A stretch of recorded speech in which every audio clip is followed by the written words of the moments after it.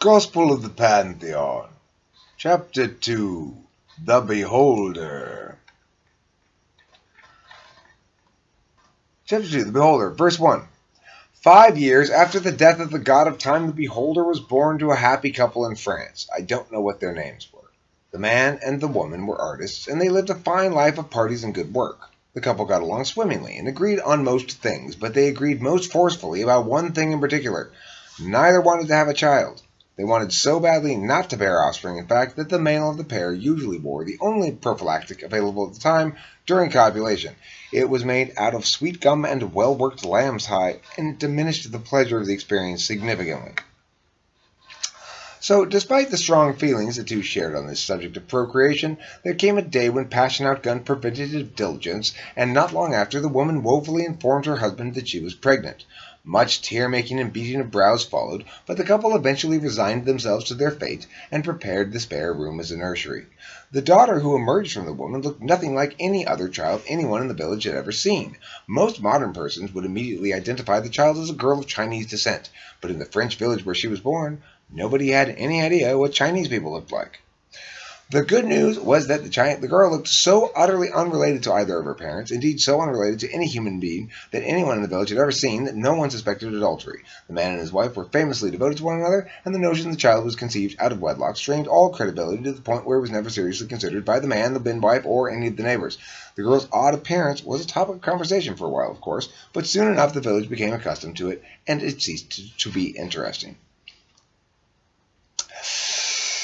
The parents, being parents, could not help but love their daughter immensely once they got to know her a bit, and soon they laughed at the former dread of childbearing. They could not imagine life without this little girl. As the child aged and required less constant care, the couple resumed their artistic endeavors, and their life became just as busy and productive as it had been, but was much richer thanks to the addition of the little Chinese child, whom they had named Marie.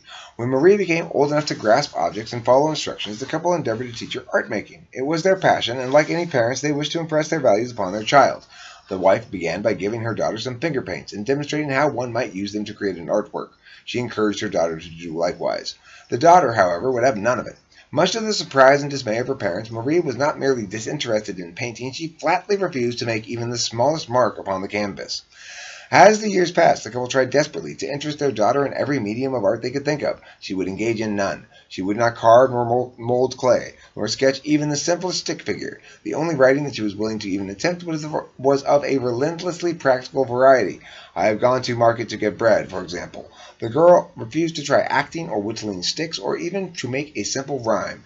This sorely disappointed the couple, but still they loved their daughter, and so eventually they shrugged their collective shoulders and gave up and focused on other kinds of parenting and upon their own artistic endeavors, of course. One day, when the girl was about seven or eight years old, the mother brought a painting that she had just completed in from the studio to the kitchen where she expected to find her husband. She wanted his opinion about it. She found Marie instead, dipping some bread into milk and eating it. Isn't your father here with you, Marie? The mother asked in a French accent. no, Mamma. He just left. He said he needed to ride to the apothecary for more alum, and he said he would bring it back. He would bring back some licorice for me as well. Ah, said the mother, disappointed. Well, I was hoping to get his opinion on my painting, but no matter. The mother, having long since concluded that her daughter had no interest in art, had never bothered to ask her daughter's opinion about any work that she had completed, and her daughter had never volunteered any opinion whatsoever. But on this day, the mother was quite excited by her new work and had anticipated that a trip to the kitchen would produce feedback. So on a whim, she asked, Marie, what do you think of Mamma's painting? Do you like it? Marie turned and looked at the work. She stared at it intently for a few moments. Then she got up and moved to look at it up close. Then she stepped back and looked at it from far away. At last she spoke. The two figures on the right constitute the inspired work. However, there are problems with the composition of the larger work as a whole. The table and chair to the left are rendered rather clumsily and tacked on just to fill space. I recommend cutting the canvas there at the edge of the table all the way down, vertically framed just the two figures in the, in the dark wood, a thin, simple frame, to make a uh, long, narrow painting that gives the impression of tapestry scaled down. That I think would make for a skillful final piece. And then the girl sat back down and resumed dipping bread into milk and eating it. What? said the mother dumbly. The girl simply chewed her bread and looked at her mother. Eventually she said, I hope Papa does not forget the licorice.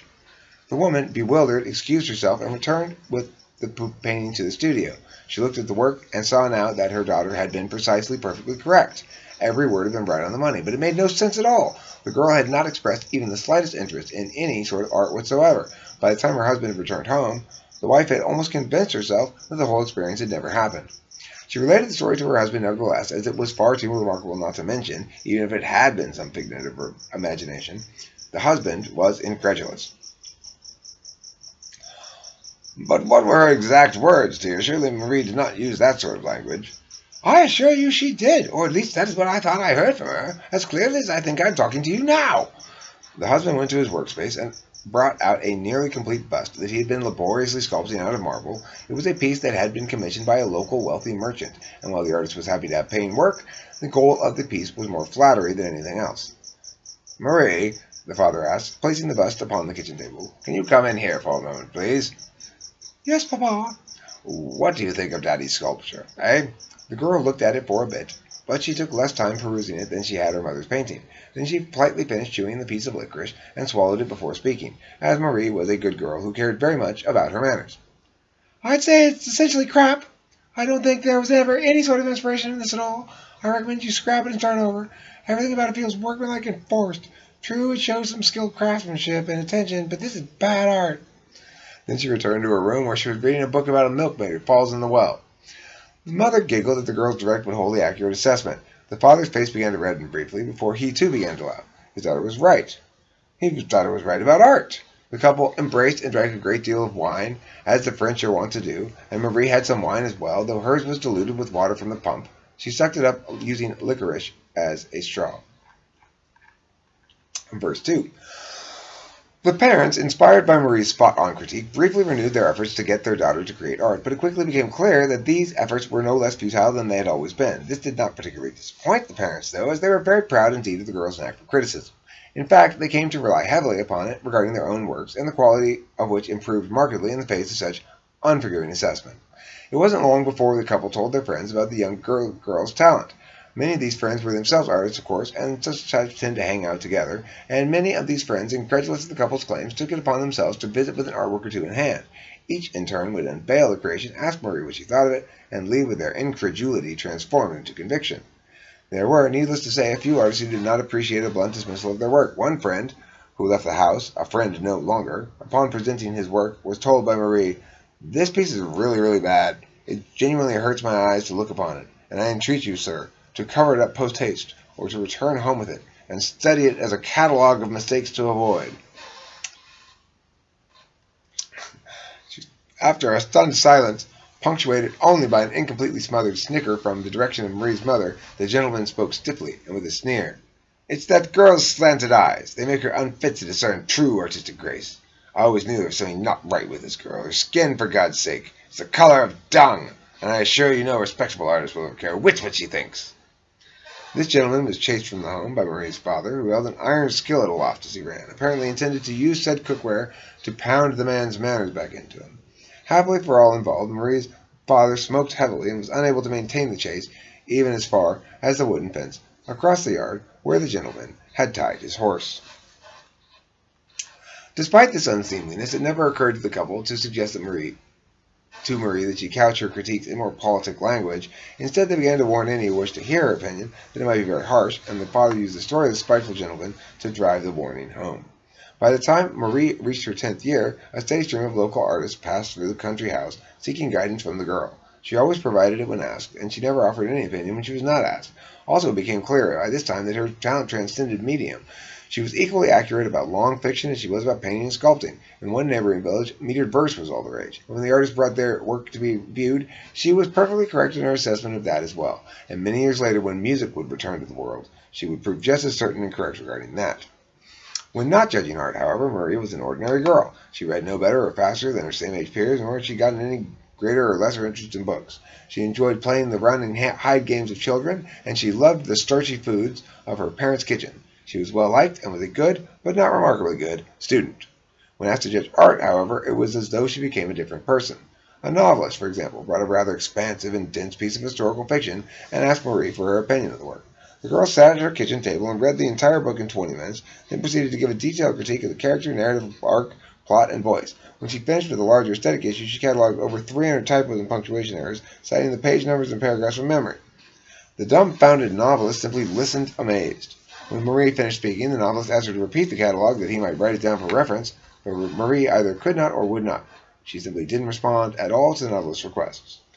This writer, the writer discussed this fact with her parents, and it was proposed as an experiment that he would ask her again when he arrived what she thought of the work as a whole. Again, this elicited absolutely no response, and thus was it determined that Marie evaluated a given work once and only once.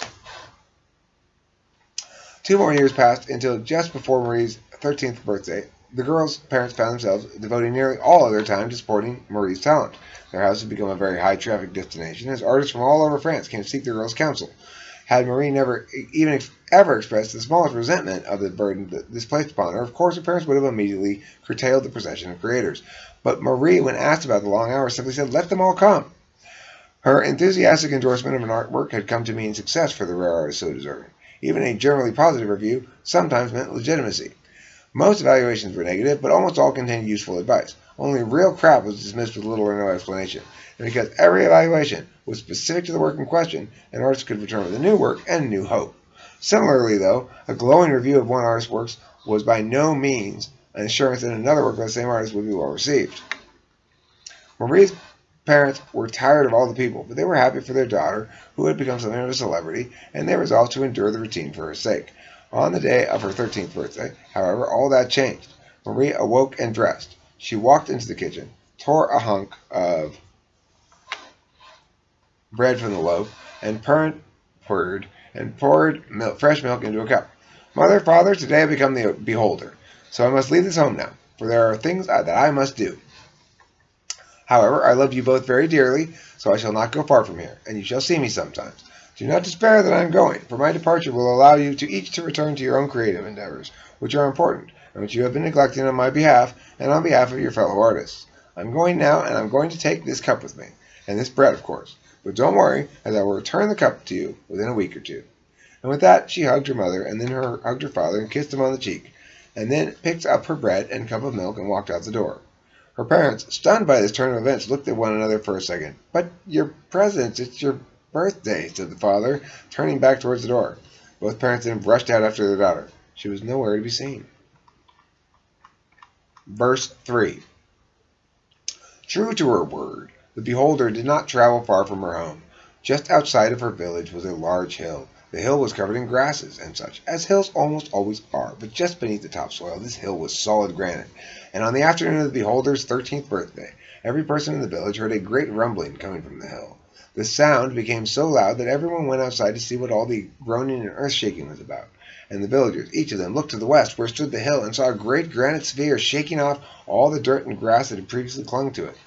This sphere sat atop a mighty pedestal, also of granite, and slowly the pedestal shook from it bits of granite until the shape of a long set of stone stairs took form. Then, at the base of the sphere, just above the pedestal, a rectangular hole opened, the size and shape of a very large doorway, and from out that hole tumbled out a vast amount of granite dust and chunks. These made their way to the bottom of the stairs and were shaken off the stairs until at last the rumbling stopped. When the dust cleared, the villagers looked upon a flawless stone sphere, larger by far, than any of the homes in the villages, than all of the homes of the village combined. Larger by far, in fact, than the hill itself had been, as the whole thing had risen up and taken up a substantial part of its mass from the bedrock below, and leading up to that sphere was a perfect and very long set of granite stairs. As the villagers watched, the beholder climbed those stairs and entered the sphere through the rectangular hole at its base. After she entered, a slab which until that moment had been hidden from view slid down from the top of the rectangular hole and sealed it so completely and so seamlessly that none could see any indication whatsoever of where the hole had been. That night there was a terrible storm. It was by far the worst storm that anyone in the village could ever remember. It was marked most notably by an extraordinary amount of lightning, and it seemed as though at least every third or fourth bolt struck the great granite sphere. As the winds increased and the rain poured down in torrents, all of the villagers returned to the warmth and safety of their homes. Only two people remained in the street, watching the sphere and worrying helplessly for their daughter. So only two people actually saw the final lightning strike that broke from the perfect sphere a single great piece of rock. But every villager awoke to a clear, cold morning and saw what the sphere had become. Looming over their quiet village was a massive eye cast by the heavens in cold granite. Verse 4 It was fairly obvious to even the most slow-witted of the villagers that Marie was no longer Marie. Beholder had arrived, and the massive stone church that she had raised ensured that this arrival did not stay secret. Like any god, she soon attracted a priesthood, which took up residence inside the eye, with her holy patron, beholder. And this priesthood attended to the many bureaucratic doings, schedulings, and record-keepings and such that we now expect from the Church of the Beholder. This priesthood eventually established the efficient system by which the works are now submitted for beholdens, and by which her holy judgments are rendered and delivered. We Curtisarians, incidentally, have an active and good working relationship with the Beholderians, and consider them allies and friends, and I must say that we are consistently impressed with the quick turnaround time and high level of professionalism achieved by the Beholder's clergy. As this very work, that you, dear reader, currently peruse, shall no doubt eventually make its way to the eye, I'll beg your patience and indulge in a brief thank you to whichever noble beholderian prince, to whichever noble beholderian priest should happen to glance upon this manuscript before it reaches the eyes of Her Holiness. But it must be admitted that during the early days of our church, when this system had not yet been refined, it often took months or even years for a submitted work to receive the beholder's holy and true judgment. This is of note, as it gave rise to a strange idiom that is often the source of confusion among faithful Pantheonians, Pantheonians who do not know the story of its origins.